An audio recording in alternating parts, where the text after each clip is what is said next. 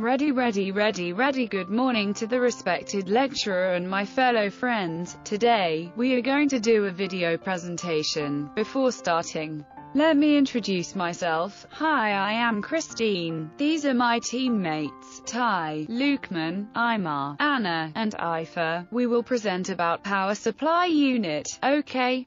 Let us start with the history of the power supply unit. The ancestor of computer power supply is actually a step-down transformer. Its main function is to change alternating current to direct current. Let us see what is the difference between alternating current AC, and direct current DC. Alternating current cycles back and forth. It is an efficient method for transmission of electricity. It is measured in cycles per second, or known as hertz. For example, the wall socket in our house supply alternating current. Direct current travels in one direction only. However, DC is required by most electronic devices, includes computer. For instance, the electricity provided by batteries is in DC. The power supply unit is connected to the wall plug by using a standard 3-pin plug top. There are ground pin, hot pin, and neutral pin on the plug. The alternating current flows into the power supply unit when the plug is switched on. There are some core components in it, for example, resistor that limits the amount of currents that can flow through it, rectifier that converts alternating current to direct current, transformer that changes the ratio of current to voltage transistor that amplify flow of electricity and capacitor that hold electrical charges and smooth the uneven flow of electricity. The second function of power supply unit is regulates and lowers the supplying voltage. A transformer keeps power constant but changes the ratio of current to voltage. For example, the input voltage is 1000 volt while the output voltage is 200 volt. Next, we will give a brief description of how computer power supply is developed. The first standardization of desktop power supplies started with the IBM personal computer in 1981. Its power supply design was copied by other manufacturers for what became known as IBM compatibles. IBM changed the size with the IBM personal computer or known as AT, which later included smaller models known as the Baby AT form factor The basic design of the power supply remained unchanged until 1995 when Intel released the ATX computer form factor. We will share with you more about the form factor in the next section. As we mentioned before, the power supply unit acts as a step-down transformer. It converts alternating current to direct current with different voltages to suit the needs of different components in the computer. Positive 12 volts primarily used for disk drive motors. Cooling fans. Negative 12 volts is used for serial ports and SIM circuits because its current output is limited to 1 ampere. Positive 5 volts is used on older motherboards, processor and memory. It is also passed to expansion slots. 3.3 volts is widely used on new motherboards, processor and memory. It supplies power to the AGP video cards too. As time passes by, the size of step-down transformer shrink and modified to suit for a computer. Power supply unit is known as PSU, power supply, and power unit. It is commonly located at top left in the tower casing.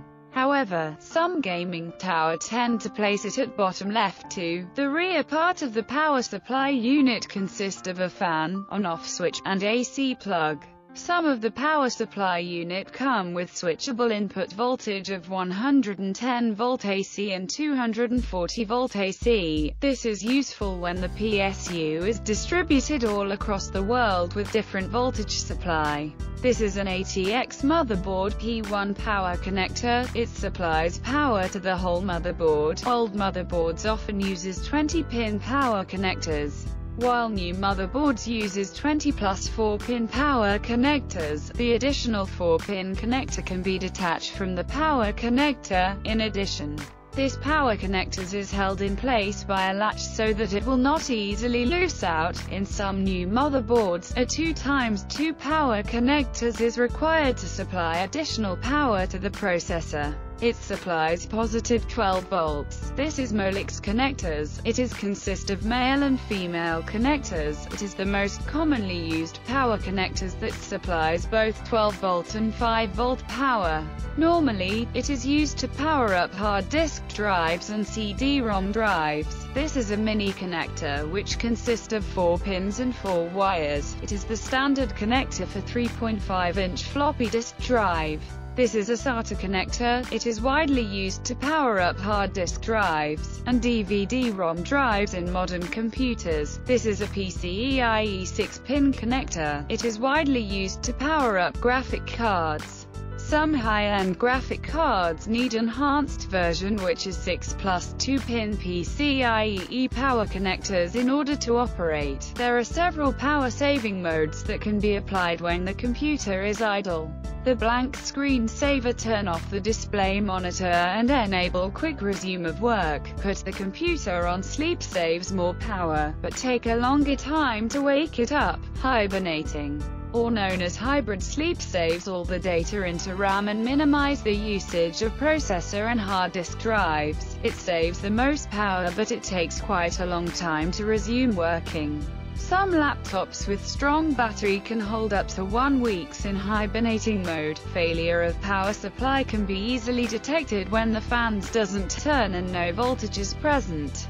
When this condition occurs, you need to replace it with a new one. First, long press the on-off switch approximately 5 seconds located in front of the tower casing. Next, Hold firm on the AC power plug and disconnect it. Wait for a few seconds to let the power supply discharge completely. Then, unscrew the power supply by using screwdriver, as for the internal part. Slowly and carefully remove the power connectors from the motherboard and peripherals. Do remember the position of the power connectors as you need to connect them later.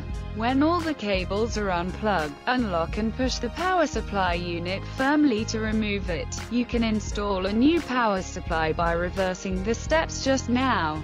The power supply unit must be tightly screwed to prevent it loosen when operating. After installing a new power supply, you can test it by turning on the power. In order to prolong the lifespan of power supply unit, maintenance from time to time must be done. First, cooling is very important to power supply unit as it generates a lot of heat when operating. The fan keeps the voltage regulators cool and provides a constant flow of cool air through the computer. Many fans nowadays have sensors to detect when they should run faster, beside fans. The airflow of casing is important too. The airflow in the casing must be smooth else the CPU can overheat and destroy itself. There are several ways to protect computer from being struck by surge or sudden blackout. The surge suppressors provide protection against power surges. It is inserted between the power supply and the outlet. Some of them even provide protection for cable connections such as modems and DSL. Power conditioners provide protection against spikes. It also regulate or condition power. It provide continuous voltage during brownouts. Another way is through uninterruptible power supply, or known as UPS. UPS contains a battery that provides continuous AC power to the computer. It provides surge protection and power conditioning as well. Some of them is controlled by software through USB or parallel port connection to PC. It can send shutdown alarms during blackout and remote startup of system through phone lines. We named him the Smart UPS. As UPS is not an essential part of computer, we must consider the following when buying a UPS. A good UPS usually come with large amount of battery backup good after-sales service, long warranty period and an affordable price tag. Next, we will share with you about the revolution of power supply unit. Form factor is an industry term for the size, shape, type and external connector. There are approximately eight industry standard form factors for power supplies. This form factor is called PC or XT. It is first used in IBM desktop back in 1983. It is also called as extended technology. This PSU is placed into the rear of the case at right-hand side and controlled by an toggle switch. This is AT form factor, or known as advanced technology.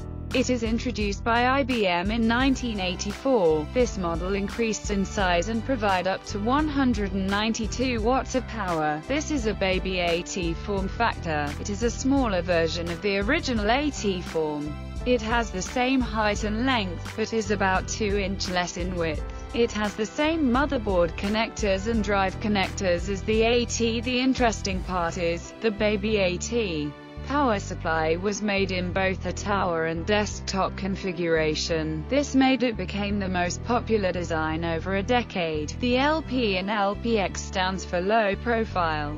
They are also often called slimline power supplies because LPX cases are often called slimline cases. The size is reduced, facilitating the design of much smaller and consumer-orientated PC. However, the connectors of the LPX form factor power supply are the same as that of any AT families. Next, the ATX or NLX form factor power supply is introduced by Intel in 1995.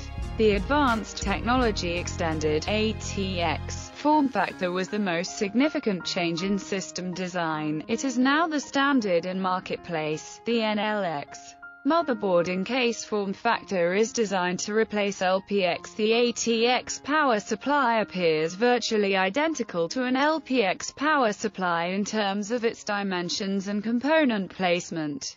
In 1997, Intel introduced the new Micro ATX form factor based upon the original ATX form factor. In 1999, Intel produced the Flex ATX addition to the Micro ATX specification detailing plans for an even smaller motherboard and case standard. Later, Intel created the SFX power supply form factor, which stands for small. The specified output rating of this SFX power supply is 90 watt and sufficient to run low-powered CPU only. The WTX was introduced by Intel in 1998. It is designed specifically for workstations. WTX defines a standard for motherboards, cases, and power supplies. It is designed in a modular way from ground up to allow it to meet the need of large, multiple CPU systems now and in the future.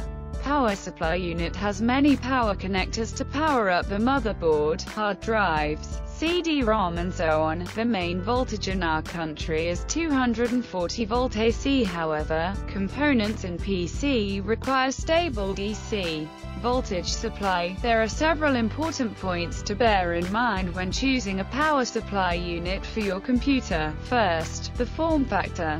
You need to choose a power supply form factor that compatible with your motherboard and tower casing, the type and number of power cables and connectors on the PSU is important to determine the maximum devices that it can power up. The voltage selector switch enables switching input between 110 volt AC and 240 volt AC. Choosing a power supply with big and fast spinning fans enable better cooling and longer lifespan. The on-off switch is convenient in turning off computer and prevent electrical shock. You need to choose the wattage ratings carefully that suits your need. A lower wattage cannot support all of your components. A higher wattage will draw a lot of electricity thus causing high electricity bill. Bear in mind that video cards draw the most power. You need to use a power supply rated 30% higher than expected. You can calculate the power needed by using a wattage calculator. Finally, a branded quality power supply with good after-sales service and warranty is always safer and better. There are few versions of power supply. The ATX 12 volt 1.3 is first widespread update to ATX PS. The EPS 12 volt is introduced for server motherboards. The ATX 12 volt 2.0 overcame the problem of overloading the 12 volt rail. It provides multiple 12-volt rails. As for general recommendation, get a power supply unit that is at least 500 watt. It is enough extra for starting and future growth. We will discuss about brand and manufacturers in the next section. Corsair Components, Inc. is an American computer peripherals and hardware company headquartered in California. Corsair designs and sells a range of products for computers, including high-speed DRAM modules, ATX power supplies, USB flash drives, memory and case cooling solutions, gaming peripherals, computer cases, solid-state drives, and speakers. Thermaltake Technology Co., Limited is a manufacturer of PC cases, designs, power supplies and cooling solutions. Its main headquarters is located in Taipei, Taiwan. It has multiple manufacturing facilities in mainland China, including a major plant at Dongguan. Most of Thermaltake's production consisting of aftermarket personal computer parts, is typically bought by teenagers blinded by the flashy packaging and not doing any research beforehand. Deepcool is a manufacturer and provider of thermal products for desktops, laptops and servers. It was founded in Beijing in 1996. Its factory is now located in Shenzhen. Deepcool's factory employs around 700 people and has a construction area of 20,000 square meters. It is recognized by ISO 9001 to 2000 and ISO 14001. The company name was inspired by the IBM supercomputer Deep Blue. Seasonic Electronics Co., Limited, is a power supply and computer PSU manufacturer and retailer. Formerly limited to trading as hardware OEM for other companies, they first made power supplies in 1980s for the Apple II and the IBM PC. All of their PSUs are certified 80+. Plus. In 2002, Seasonic established a wholly owned subsidiary in California, USA to sell products in the U.S. retail market and to provide technical support. Zalman Tech Co is a South Korean company that develops and provides aftermarket desktop computer products with primary focus on cooling enhancement. Zalman has done considerable products development since its 1999 founding, and now holds several patents focusing on both cooling and fan noise reduction. Zalman's product range includes specialized heatsink and fan solutions for CPUs, as well as quiet power supplies, computer water cooling systems, motherboard chipset coolers, graphics card heatsink and fan combos, laptop coolers, cases, and hard disk cases that lower temperature and reduce noise. Cooler Master Co., Limited is a company that is well known for producing enthusiast computer cases and has been in business for almost 25 years. Cooler Master's entry into the power supply market has been rather mixed with some good products, and some that could use improvement. Today, we will look deeper into Cooler Master of its product lines and various series available. The V-Series of 80 plus Platinum power supplies is built using the highest grade components available including 100% high-quality Japanese capacitors to ensure excellent efficiency, hold-up times, voltage stability, and ripple suppression. The V-Series uses a fully modular cable system with extra slim flat ribbon cables to improve cable management and allow for clean and elegant looking builds. The GM series is semi-modular to reduce the number of unnecessary cables for better cable management. The single plus 12V rail on all GM series power supplies allows for superior load balancing and GPU compatibility. Its unique 3D circuit design offers high efficiency and improves the heat dissipation. It reduces the unnecessary cables which results in much lower crosstalk, signal noise and improves airflow. The refreshing new design of the GX series is an outstanding choice for basic system builds, offering gamers and mainstream users high-end features without hitting your wallet. 80 plus bronze certified and a custom DC-DC module design that has higher efficiency and voltage stability from its predecessor, the GX series is the best choice to bring your game to the next level. B-series power supplies are ideal for mainstream and basic computing systems. They are built with quality components and have dual positive 12-volt outputs to provide stale, clean power. A completely new circuit layout and new components make it compliant to the regulations. The biggest difference for the new B-Series is that it now only has a single rail positive 12-volt DCR with a max current of 54 ampere. The Thunder power supply line is ideal for mainstream computing systems. It is built with quality components and has dual positive 12-volt output to handle the demands of high power requirements. It is equipped with double-layer ME filter which provide dual protection from electromagnetic interference, thus restraining noise and interference for greater protection for you and your connections. Elite power supplies are built using quality components and a dual positive 12-volt output. They are both reliable and affordable, making them ideal for mainstream and basic computing systems.